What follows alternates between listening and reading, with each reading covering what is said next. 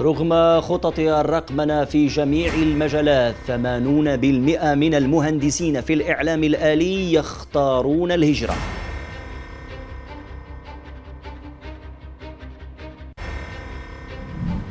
بعد الترحيب الروسي والصيني بانضمامها للمجموعة الجزائر تقترب من البريكس. توسيالي للحديد والصلب تصدر 15 ألف طن من الأنابيب الحلزونية. نشاط الأخبار الرئيسة من الاقتصادية الأولى. أهلا بكم. بداية كشف التجمع الجزائري للناشطين في مجال الرقمنة أن الجزائر تخسر ما لا يقل عن مليون وثمانمائة ألف دينار لتكوين مهندس واحد خلال مسيرته الجامعية المحددة بخمس سنوات. في حين أن الإحصائية الأخيرة بيّنت أن 80% من المهندسين يهاجرون إلى الخارج.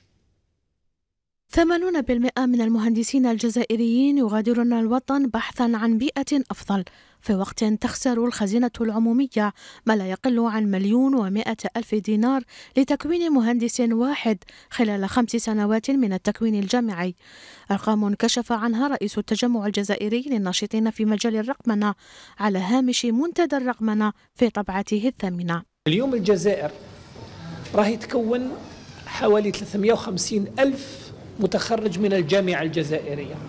من بينهم آلاف المهندسين. هذو الآلاف من المهندسين ما ناش نقدروا نخليهم في الجزائر. 80% من هذو المهندسين راهم يغادروا الجزائر للدول الغربية. هذا نزيف كبير لأن المهندس الخزينة يكل المهندس يخلف يكلف الخزينة حوالي مليون وثمانمائة ألف دينار غير فقط الخمس سنوات تاعو الجامعية. بلا ما نهضروا على التكوين في الابتدائي والمتوسط والثانوي. المنتدى الذي حمل أيضا موضوع المهن والتكوين والتوظيف جاء لتقديم حلول مستعجلة ورؤى استشرافية من شأنها أن تحد من نزيف الأدمغة نحو الخارج. وهذه المشكلة مشكلة عويصة مشكلة عويصة ما تخصش مجال واحد فرق ولا آه، مثلا وزارة التعليم العالي ولا وزارة العمل ولا وزارة المالية. مش مشكلة عويصة لازم الجميع يجلس على طاولة واحدة ونتكلم ونشوف ما هي الحلول اللي تسمح لنا نخليو شبابنا يعيش في وطنه ويصرف أمواله في اقتصاد الوطن بدون ما يغادر هذا البلاد ظاهرة هجرة الكفاءات الجزائرية إلى الخارج مشكلة عويصة يتكبد خسائرها المجتمع والاقتصاد والدولة. في وقت لا زالت الرؤى غير واضحة من قبل الحكومة لاستقطاب الكفاءات في ظل واقع سياسي واقتصادي غير واضح المعالم. بحصول الجزائر على الضوء الأخضر للانضمام إلى مجموعة بريكس من كل من موسكو وبكين تكون قد قطعت خطوات متقدمة في نهج الالتحاق برقب الاقتصاديات الناشئة بما تملكه من مؤهلات تدعم المجموعة وتستفيد منها. وسط الكثير من الطموحات الاقتصادية الكبرى رحبت الصين وروسيا برغبة الجزائر في الانضمام إلى عائلة البريكس التي تضم أكبر اقتصاديات العالم خارج المنظومة الغربية. حيث قالت الصين إن الجزائر بلد ناشئ كبير وممثل للاقتصادات الناشئة ولا مانع من انضمامها للبريكس فحين كانت روسيا قد أعلنت أيضا دعمها للجزائر بمجرد أن أعلن رئيس الجمهورية عبد المجيد تبون رغبة الجزائر في الالتحاق بهذا التكتل الاقتصادي القوي. البريكس يضم حاليا خمسة دول هي الهند البرازيل وجنوب إفريقيا إضافة إلى روسيا والصين الحليفين التاريخيين للجزائر. ويشكل هذا التكتل 23% من الاقتصاد العالمي و18% من تجارة السلع و25% من الاستثمار الأجنبي. وترتبط الجزائر بعلاقات قوية على مستوى التعاون الاقتصادي والاستراتيجي مع دول البريكس خاصة الصين وروسيا حيث بلغت قيمة التجارة بين موسكو والجزائر العام الماضي ثلاثة مليارات دولار. وحول دافع التوجه للبريكس يرى متتبعون أن الجزائر خاضت تجاربا اقتصادية فاشلة مع العديد من الدول الأوروبية خاصة مع فرنسا وهو ما دفع بالحكومة الجزائرية لتوجيه اقتصادها نحو الدول الآسيوية وتحديدا الصين. هذا وتنظر دول البريكس إلى الجزائر كدولة متحررة من الديون الخارجية لها احتياطي جيد من العملة الصعبة وهي ثالث دولة عربية من حيث احتياطي الذهب.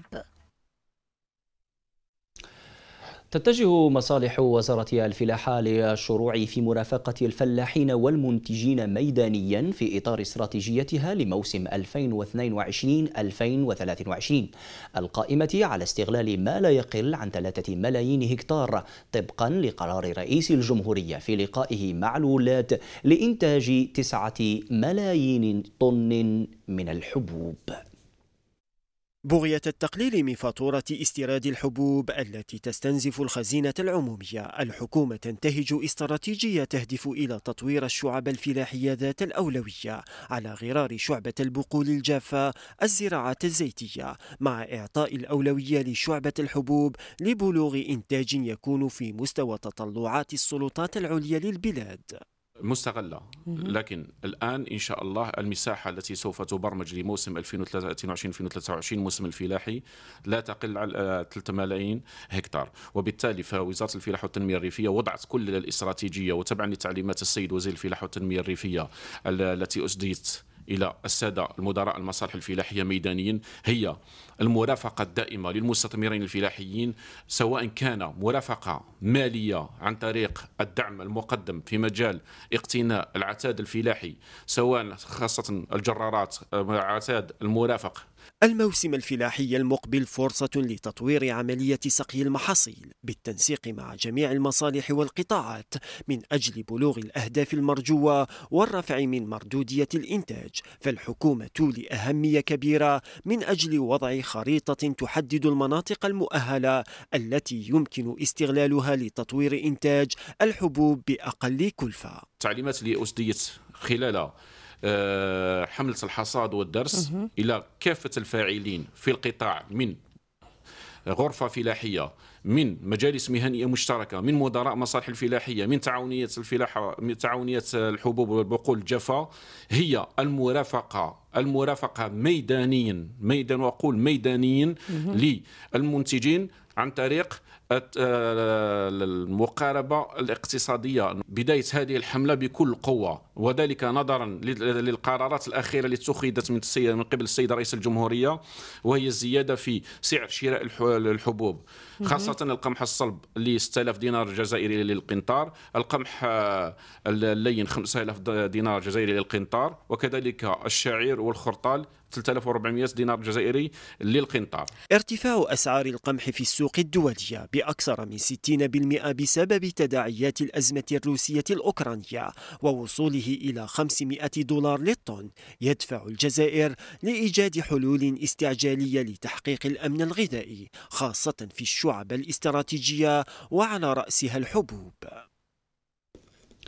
في الموضوع دائما ناقشت لجنة الفلاحة والصيد البحري وحماية البيئة بالمجلس الشعبي الوطني مع رئيس الغرفة الوطنية للفلاحة محمد يزيد حملي ونواب البرلمان ناقشت العراقيل التي تواجه الفلاحين ميدانيا.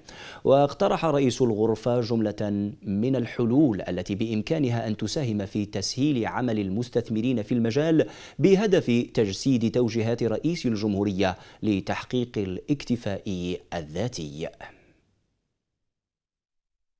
كنا تكلمنا على بعض العراقيل بعض المشاكل اللي يواجهها الفلاح ميدانيا. هذه اللي راح تخلي تسهل باش نقدروا نحققوا آه، سياسة رئيس الجمهورية. يعني وكان تكلم على 9 آه، ملايين طن من الحبوب. يعني هذه كاين آه، حسب الإمكانيات المادية والإمكانيات الطبيعية اللي عندنا والأراضي البشرية. كذلك يعني يعني قادر نوصلوا لها وخاصة قضية القمح والصلب والشعير قادرين نكتفوا ذاتيا يعني ما عندنا إمكانيات. هو المشكل تاع العقار الفلاحي معروف يعني خاصة الأراضي الجزائرية هي معظمها في الشيوع. هذا اللي يرهن بعض الفلاحين خاصة الفلاحين الصغار في مجال الاستثمار لأنهم يجعلهم محرومين من القروض الفلاحية. وهذا يعني كاين عمل مع وزارة الفلاحة ومع البرلمان في هذا الصدد كاين اقتراحات باش نحلوا هذه المشاكل إن شاء الله. هي مراجعة المنظومة التشريعية للقطاع الفلاحي. أولها هو إعادة القانون قانون التوجيه العقاري الفلاحي قانون 016 اللي ما اصبحش يعني يستجيب للتغيرات الجديدة. اولا. ثانيا هو المع... يعني الشيء الأساسي بالنسبة لنا هو تسوية العقار الفلاحي تسوية العقار الفلاحي. طالما أن لم نسوي العقار الفلاحي لن يكون فيها لا اكتفاء ذاتي وتكون في حتى العراقيل. النقص الوحيد هو اللي يقدر باش نوصل للطموح نتاع السيد رئيس الجمهورية ولتغطية الاحتياجات الوطنية. ولما لا التصدير إلى الخارج هو أن تمكين الفلاحين من القروض في نفس الشعبة التي ينتمي إليها وفي التخصص الذي يشتغل فيه. في الصناعة رصت بميناء عنابة باخرة محملة ب 34 ألف طن من مادة الفحم الحجري قادمة من روسيا وموجهة لتزويد مركب سيدار الحجار بهذه المادة الأولية الضرورية لتشغيل الفرن العالي. وأبرمت الصفقة حسب ما أفاد به بيان للمجمع الصناعي سيدار بعنابة في إطار اتفاقية تموين بين إدارة المركب والممون الروسي بلاك رابيد DMCC بإشراف ومتابعة مجمع إيميتال الجزائري. وجاءت العملية بهدف توفير المادة الأولية الضرورية لتشغيل الفرن العالي بالمركب لتمكينه من مواجهة صعوبات التزويد بمادة الفحم الحجري المطروحة على مستوى مستوى السوق العالمية. الشحنة تم اقتناؤها بسعر تنافسي قدر ب 600 دولار للطن الواحد مقابل أسعار تجاوزت 80 دولار 800 دولار للطن الواحد في السوق العالمية كما يرتقب وصول شحنة ثانية ب 26 ألف طن من نفس الممون في وقت لاحق. في التعاون دائما تعقد اللجنة الحكومية المشتركة الجزائرية الروسية للتعاون الاقتصادي والتجاري والعلمي والتقني تعقد دورتها العاشرة الأربعاء المقبل بالجزائر العاصمة حسب ما أفاد به بيان لوزارة الفلاحة والتنمية الريفية. وسيترأس هذه الدورة وزير الفلاحة والتنمية الريفية محمد عبد الحفيظ هني مناصفة مع وزير الفلاحة للفيدرالية الروسية ديمتري باتروشاف وستسبق أشغال اللجنة اجتماعات تقنية على مستوى خبراء البلدين يومي السادس والعشرين والسابع والعشرين سبتمبر وسيكون اللقاء بين الطرفين فرصة لبحث سبل ووسائل تعزيز الشراكة والتعاون بين البلدين في المجالات ذات الاهتمام المشترك. صدر مركب الحديد والصلب توسيالي بوهران 15 ألف طن من الأنابيب الحلزونية إلى أنغولا على ثلاث مراحل انطلاقا من ميناء أرزيو. وسيتم تصدير كميات أخرى من الأنابيب ذات الحجم الكبير والتي يبلغ طولها 55 مترا في أكتوبر القادم نحو تونس ودول إفريقية أخرى. وتقدر القيمة الإجمالية لهذه الأنابيب الحلزونية ب 20 مليون دولار كما تسعى الشركة إلى تصدير 1.5 مليون طن من مختلف المنتجات الحديدية وبلوغ 1 مليار دولار من الصادرات خلال العام الجاري. كشف وزير التعليم العالي والبحث العلمي كمال بداري عزم قطاعه على رقمنة النقل الجامعي من خلال إطلاق تطبيق خاص My Bus وأوضح بداري في خرجته الميدانية التفقدية لمحطة حافلات النقل الجامعي ببلدية بن عكنون بالعاصمة أن هذا التطبيق سيدخل حيز الخدمة جزئيا بداية من شهر أكتوبر داعيا إلى ترشيد النفقات العمومية في مجال النقل الجامعي ومنوها بضرورة فتح فتح الحوار مع الطلبة من أجل تشخيص احتياجاتهم ومعالجتها في الوقت المناسب. أمضى ممثلون عن مجمع سونطراك مع الهيئات المعنية بولاية أضرار على اتفاقية لفتح مرافق اجتماعية عبر بلديتي تمنطيط وفنغال وتشمل المبادرة فتح مطعم مدرسي بسعة 200 وجبة ببلدية تمنطيط وقاعة علاج ببلدية فنغيل ضمن برنامج مجمع سونطراك لإطلاق مشاريع استثمارية وتنموية عبر ولايات الجنوب سيما مناطق الظل. وتندرج العملية ضمن السياسة السياسة الاجتماعية لمجمع سونطراك عبر الوطن باعتبارها مؤسسة مواطنة حسبما أوضح مستشار الرئيس المدير العام لمجمع سونطراك بوعلام أوجهاني على هامش مراسم توقيع الاتفاقية. دوليا هبطت الليرة التركية إلى أدنى مستوى لها على الإطلاق مقابل الدولار خلال التعاملات المبكرة الاثنين لترتفع خسائرها حتى الآن إلى أكثر من 28% وتواصل تراجعها بعد خفض, خفض أقول غير متوقع في سعر الفائدة الأسبوع الماضي. وبلغ سعر الليرة 18.44 مقابل الدولار الواحد. وكان البنك المركزي قد خفض بشكل غير غير متوقع سعر الفائدة المرجعي 100 نقطة أساس الأسبوع الماضي إلى 12% مشيرا إلى التباطؤ الاقتصادي على الرغم من ارتفاع التضخم إلى أكثر من 80% في أوت الماضي. أظهرت النتائج الأولية للانتخابات التشريعية الإيطالية التي جرت الأحد فوز التحالف اليميني الإيطالي بقيادة جورجيا ميلوني وحزبها إخوة إيطاليا القومي. وحصلت الكتلة اليمينية التي دخلت الانتخابات كمرشح واضح للفوز على ما بين 41 إلى 45 بالمئة من الأصوات. وفي الوقت ذاته لم تشكل أحزاب اليسار والوسط جبهة جبهة موحدة ضد التيار اليميني خلال الحملة الانتخابية. ووفقا للنتائج الأولية فإن التحالف الانتخابي للحزب الاشتراكي الديمقراطي مع أحزاب اليسار وحزب الخضر حصل على نسبة تتراوح ما بين 25.5 إلى 29.5 بالمئة.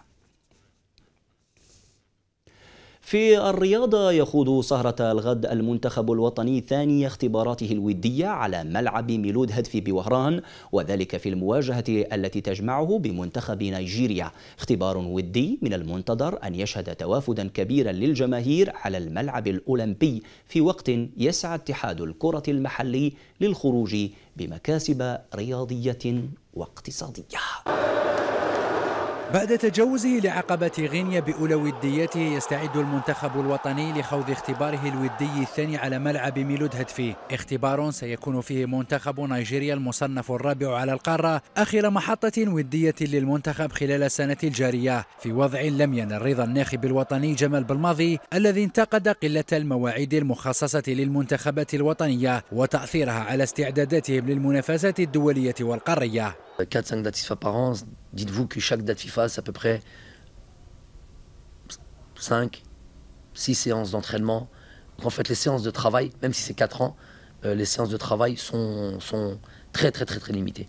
Très très très limité. الطابع الودي للمواجهة لم يثني الجماهير المتعلقة بالخضر من إعلان حضورها وبقوة وتكرار ذات المشاهد التي زينت مدرجات الملعب الأولمبي بالرغم من الاستياء الذي أبداه عدد المناصرين بسبب عدم قدرتهم على دخول الملعب رغم حيازتهم على تذاكر المباراة ناهيك عن عجز الكثير منهم عن استعمال المنصة المخصصة لبيع تذاكر المواجهة هي حاجة الأولى ما حلوش كاع البيبان الشعب شوية نغبن. هي داروها حاجة مليحة. بصح ال site ما ينتحلش. الناس عانت في ال site. عانت بزاف. هي أحسن. دير آه، les kiosques تماك.